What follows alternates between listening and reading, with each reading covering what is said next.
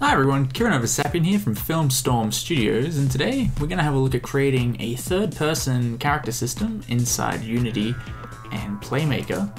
And what I've done, if you follow the link in the, the description above, you'll see that you can go to our Gumroad and get our animation pack.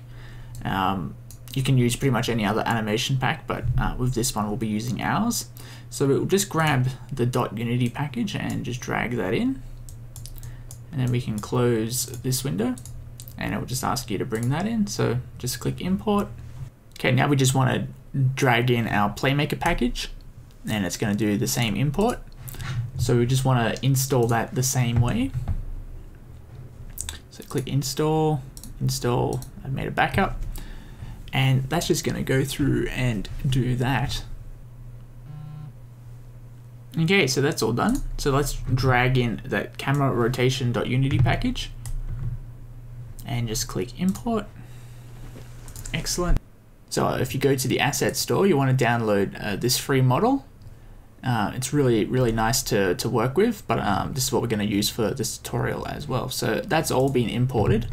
So you see we have these directories now, and inside here we've got our movement pack, with all our um, different bits and pieces ready to go. So how are we going to create our third person system? Well, it's quite easy. Let's go and create a new plane. Let's come up to here and zero everything out. Now what we want to do is grab our knight, jump into here, and you'll notice we've got a prefab. We've got the knight prefab. Let's jump in and grab him. And you'll see that he's rotated uh, at 180. So let's uh, maybe just zero him out. Excellent. And let's get the camera and we can delete that because we're going to go back to the assets, prefabs, and this is that imported camera system that we made. So just grab that and drag it in to the scene. Excellent. So now you can see if you jump to game, we've kind of got this set up already. And then basically this camera has been set up with um, pre-made FSMs just to save you a lot of time and, and work. So what we can do, jump to the camera. You'll notice we've got some scripts there. We don't we don't need them. Let's just come and right mouse click and say remove. And in camera base, if we jump into camera follow, this is what actually follows the player. So what we want to do is jump to our knight, expand it, and we want to create an empty object, and we want to call this camera follow. And we want to drag this up to around like his shoulders because that's where we want the camera to rotate around. So let's get this number, that Y number, 1.614. And let's come back to the camera base and we want to chuck that number in there so that that height is exactly the same.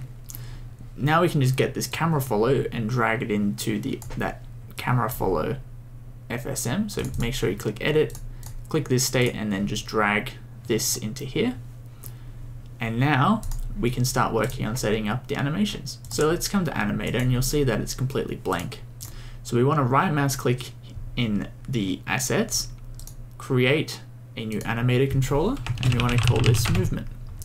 You'll click and you hit enter, you'll see that um, this little exit thing appears and we want to come up to our parameters, click new float, we want to call it input x, and we want to create another one called input z, and I just want to check if we have these, okay, that's all good, and we want to create another one called uh, input magnitude, excellent. So now expand this unarmed movement inside the FilmStorm action anim set. And you'll see we have one called idle. This one should be fine. So let's just drag that out and that's gonna be our default node. Bring the entry node over here. So if we click play right now, you'll notice that he's just gonna chill. We can actually rotate the camera around.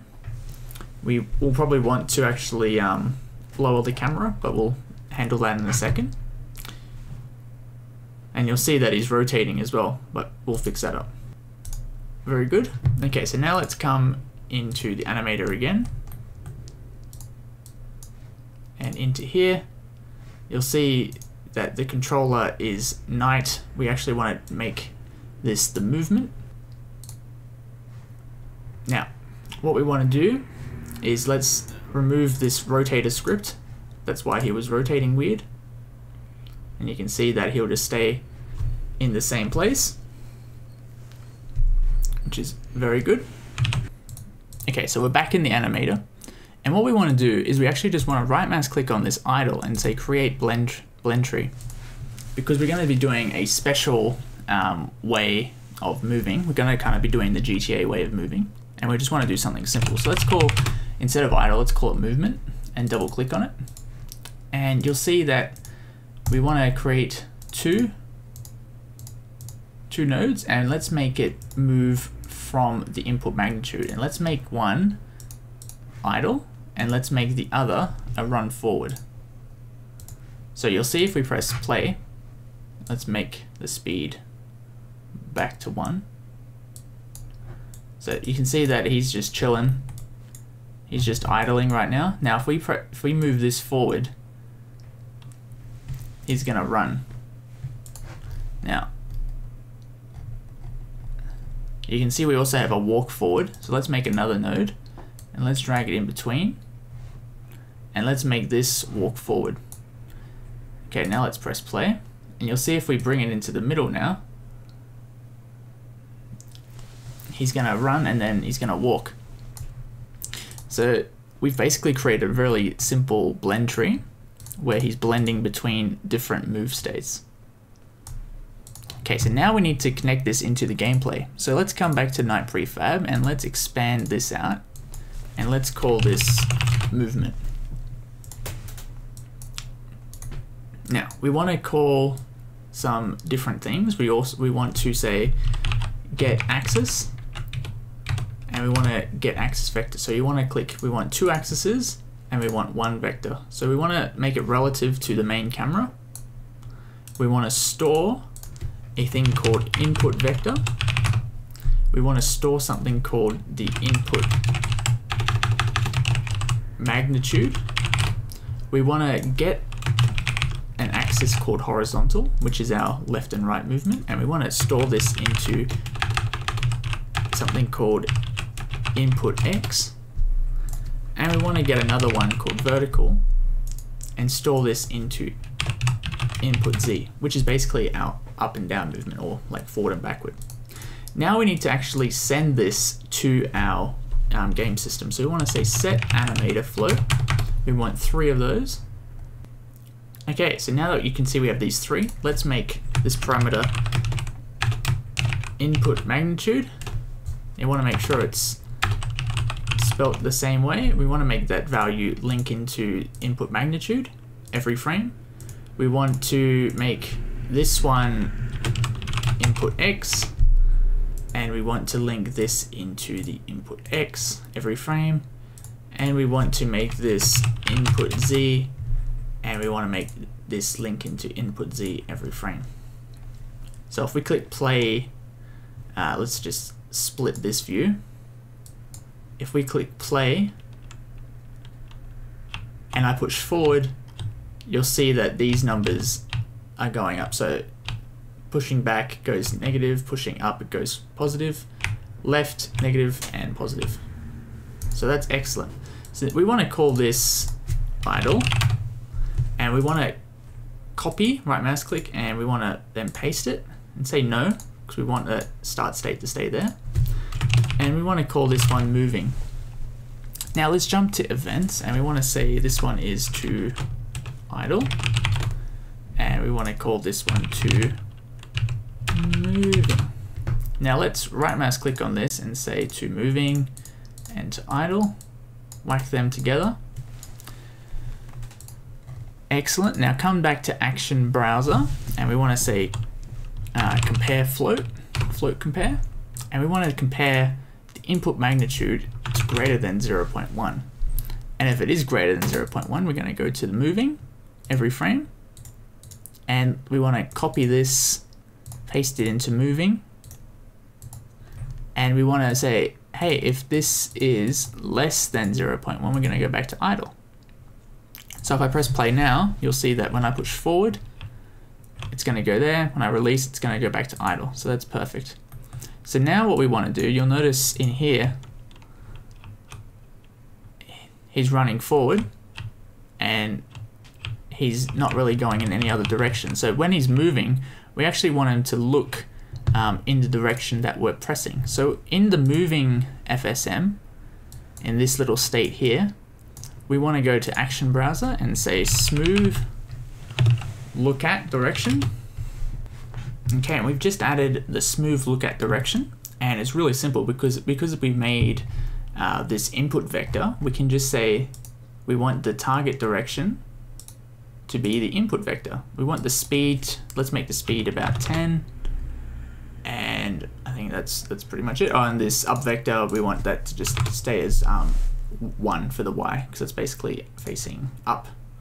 So if we press play now, and we move around, you'll see that we can basically move, we can run away from the camera, and we can do all that. So that's really nice. And because if you use it with a controller as well, you'll notice um, if you just push the stick forward a little bit, he'll go into the, the walk um, state. So that's that's another nice little touch. Now, how do we fix that camera? Say you wanted a more over the shoulder look. So let's um, grab this. You'll see it's quite high even when we're out of the game. So let's jump back into here. Let's grab the camera. And you can see that because we have this um, view split, we can actually position it right how we want it. So let's just click play. And there you go. You'll notice we have the third person system set up very nicely. Um, now, what other things can we improve on? Okay, so you'll notice if we run off here, he's gonna just stay there. How do we make sure he falls down in different spots um, when he can? So let's say we grab this plane. Let's actually create a cube. Let's come in, zero it out, and let's just scale it up a whole lot and let's drop it onto his feet. Now let's duplicate it, Control D, and let's make another one here. Okay, so now let's say if we press play, we're actually move forward.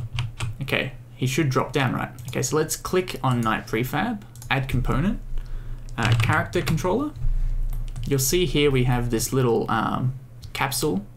We want to drag the Y up so it's just scroll that back out. Let's make it just above his feet there, so you can see that's perfect. Let's just bring in the radius a little bit. Click play. And there you go. So you can see that he dropped down nice. Let's play that one more time. Excellent. And then you can actually make a thing to say, hey, um, if he's grounded, then we'll go into a falling animation.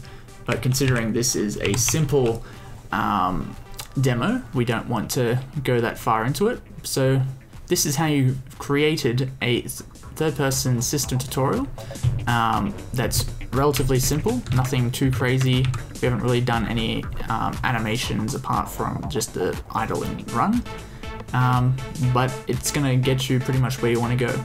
So thanks for watching, and I hope you tune into another tutorial. Thanks.